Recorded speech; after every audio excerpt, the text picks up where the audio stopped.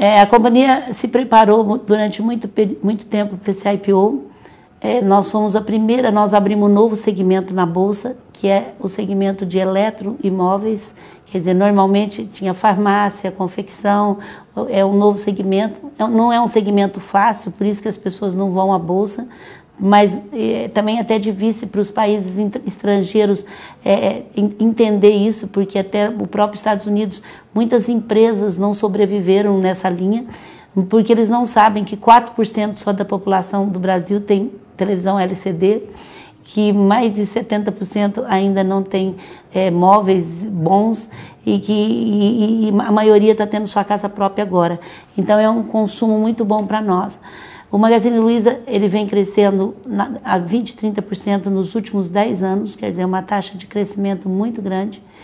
E, e a entrada nas, na bolsa nos favoreceu a, é, a, a, liquidez da companhia. Então, é uma companhia hoje que, com a entrada na bolsa, porque a gente colocou tudo na própria companhia, quer dizer, nós não tiramos para os sócios. Então, todo o investimento foi colocado na companhia, acertou nós temos hoje uma liquidez muito boa, porque a liquidez, é, quando você cresce muito, você acaba não tendo uma boa liquidez. Então, hoje a gente conseguiu crescer e ter uma boa liquidez. Como é que eu vejo o futuro? A gente, nós, nós estamos entrando em regiões que, que são muito fortes ainda de consumo. Há dois anos a gente comprou uma rede de loja, 140 lojas no Nordeste. O Nordeste hoje é a China do Brasil, né? porque é um impressionante o potencial de crescimento desse Nordeste. E nós compramos 140 lojas faz um ano. E em um ano a gente dobrou o furtamento. É uma rede que tinha 50 anos, chamava Lojas Maia. Durante um ano a gente assinou junto Lojas Maias Magazine Luiza. Agora a gente começou a onda de mudança, começamos a mudar o nome, a marca e reformar os prédios em Recife. Essa semana Fortaleza, semana que vem Maceió, que são Cada onda dessa é 20, 30 lojas. E até julho do ano que vem a gente quer mudar todas, mas nós já estamos funcionando desde agosto do ano passado. E a gente ainda tem o Rio de Janeiro para entrar, que nós não temos lojas no Rio, Espírito Santo e, e o Norte. Nós estamos com 140 lojas no Nordeste.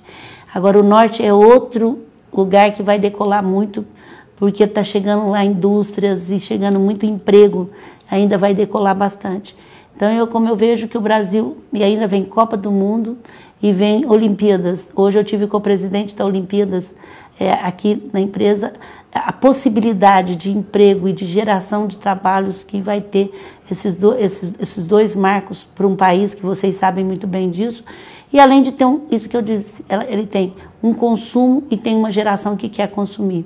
São 40 milhões de brasileiros que entraram para a economia, que a gente chama nova classe média, e a presidente vai colocar mais 15 milhões nos próximos anos para a economia. Isso representa uma classe média de 140 mil, 104 milhões de pessoas. Então, são 104 milhões de pessoas que faz parte dessa nova classe média.